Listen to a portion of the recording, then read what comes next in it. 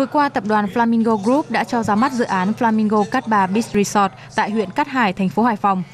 Chỉ mất gần 2 tiếng di chuyển từ Hà Nội, Flamingo Cát Bà Beach Resort có vị trí nằm trọn vẹn trong quần thể đa dạng sinh học trên bãi biển quần đảo Cát Bà là bãi tắm Cát Cỏ 1 và Cát Cỏ 2, ôm trọn cảnh núi và vịnh Lan Hạ. Dự án với nhiều loại hình biệt thự với diện tích từ 40 m2 đến hơn 2.000 m2, thiết kế thành tổ hợp dịch vụ tiện ích khép kín trên cao 5 sao.